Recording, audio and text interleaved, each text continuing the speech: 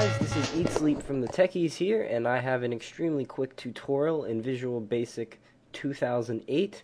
So um, what we're going to be doing is we're going to be creating a like file menu like this. When you hit the file button, things drop down and you can select stuff. And um, so yeah, that's what we're going to be doing. Let's open a new project. I'm going to name it um, menu menus. I spelled that completely wrong. That's okay though. So um, there's two things you can actually use to create this uh, kind of file drop down thing. You can go ahead and use the tool strip, which is the uh, one I like. It I don't know why I just I just like it.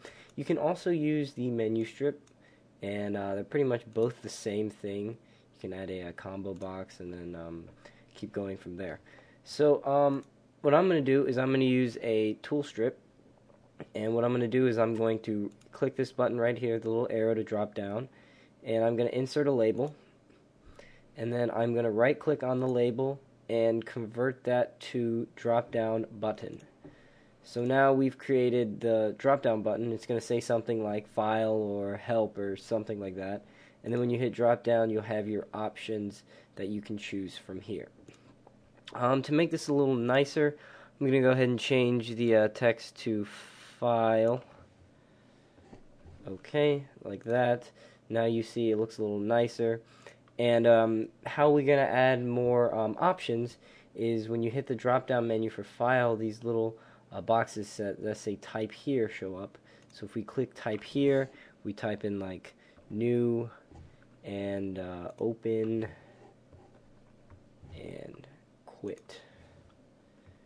And uh, if you wanted to, you can make them have options. Like for new, you could have it, you know, options for new, like new, uh, new all or new region or something like that.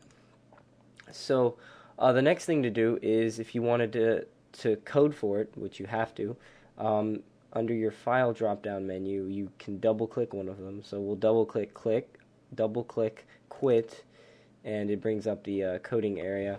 And to quit, we'll use the code me actually the function me.close easiest function in Visual Basic. And uh, so that'll quit that one. And for new we'll we'll make a message box um, and it says new box. I don't I don't know. Um alright so there we go. Um, we created quick code. Open doesn't do anything but um, you could have as many as you want, uh, you know, and code whatever you want. So if we run this really quickly, um, here's our little form, file, quit, yay, it quits. And if we try again, file mm-hmm. new, and uh, it opens up a new menu box for us. So that was a really quick tutorial on file menus or tool toolbar menus or whatever. So I hope you enjoyed this tutorial. This has been Eat Sleep from the Techies. Thank you for watching. Be sure to check out the Techies website for great game and software reviews, as well as a database of all Techies videos. Also, please sign up to our forum where you can request a tutorial or just talk about something that interests you.